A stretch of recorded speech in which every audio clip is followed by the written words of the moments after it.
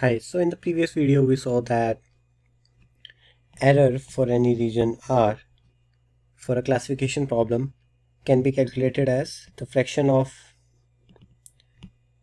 data points which are misclassified. However, in practice there exist better, better error methods that we can use to decide our splits in a decision tree and one such error method is known as Gini impurity. So Gini impurity gives us the probability of obtaining two different outputs in region R.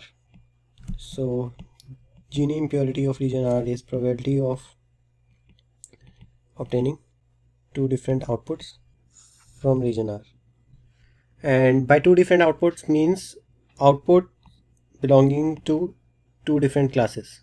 So to remind, Gini impurity is only used for classification problems so let's say we have k classes 1 to k. And we know that the probability of obtaining two identical outputs of class k.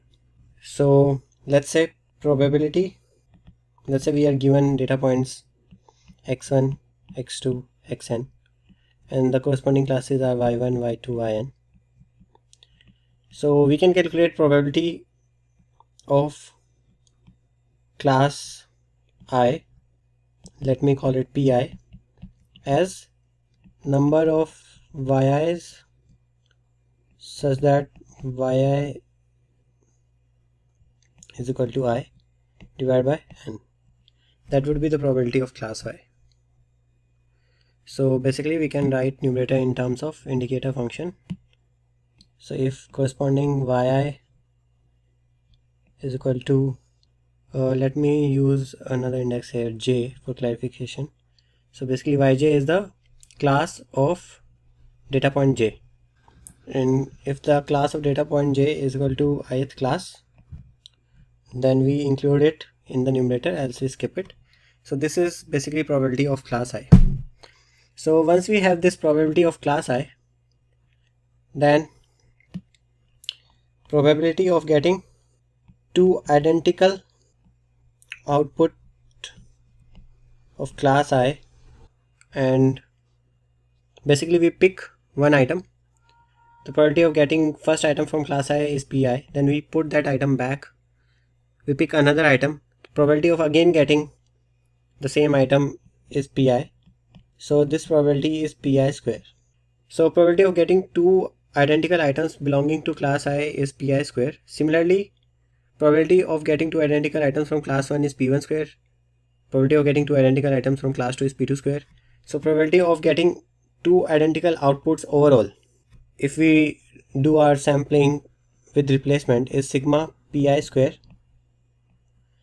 where i is equal to 1 to k because we have k possible classes for our classification classification problem and probability of not getting two identical outputs is 1 minus sigma i is equal to 1 to k pi square.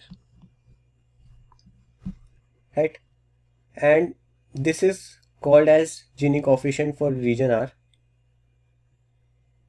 So probability of not getting two identical outputs is same, same as probability of obtaining two different outputs from region R so Gini coefficient of region R is nothing but 1 minus sigma i is equal to 1 to k pi square. This Gini coefficient is also sometimes written in a different form as follows sigma. So we know that sigma pi is 1 because pi is pi is probability of getting an item of class i so sigma pi is 1 because either we'll get an item of class 1 or 2 or 3 or k. So sigma pi is 1. So we can replace this 1 here with sigma pi and sorry. This numerator here is k because we have k classes. And we can write this as follows. Pi into 1 minus pi so this is another way in which we can write our Gini coefficient. So let's consider let's calculate Gini coefficient for the given example so let's say uh, this is our complete region R and we have not made any split so far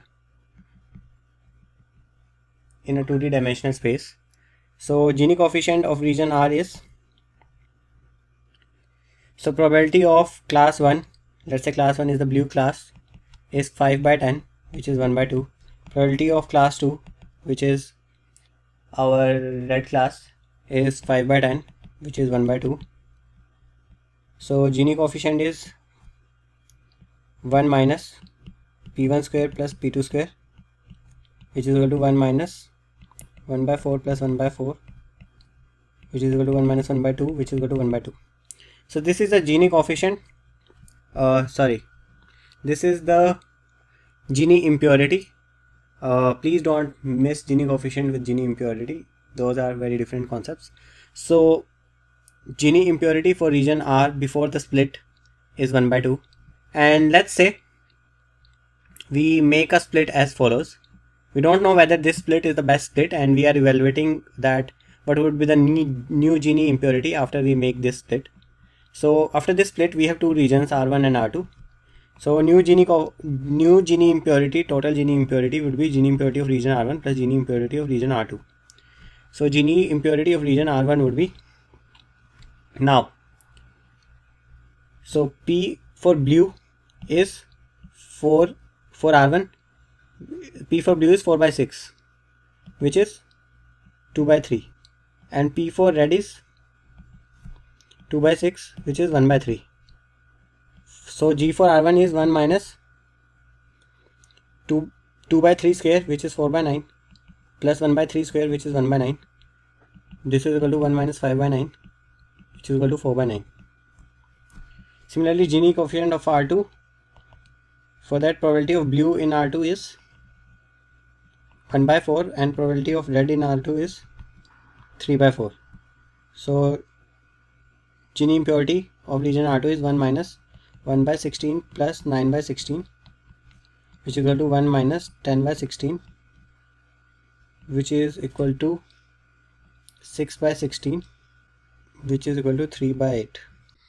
So my new thing note here is that gnet is basically not equal to g of r1 plus g of r2 but it is a weighted sum of these. So in the region we have 6 data points out of 10 data points and in the R2 region we have 4 data points out of 10 data points. So we will add the weighted average of these to get the new Gini impurity. So Gini impurity new is 6 by 10 into 4 by 9 plus 4 by 10 into 3 by 8 so let me take 4 by 10 common this will give us 6 by 9 plus 3 by 8 which is equal to 4 by 10 into 2 by 3 plus 3 by 8 which is equal to 4 by 10 into 16 plus 9 by 24 which is equal to 25 by 60 which is equal to 5 by 12 which is around 0.41 so we have reduced the Gini impurity a bit now by making this split. But we don't yet know that this split is the best split and we can try various other splits. Maybe we could try this split. Here the second split here. So we have to try multiple split and whichever gives us the least Gini impurity we will go greedily with that split. So I hope Gini impurity is clear to you. See you in next video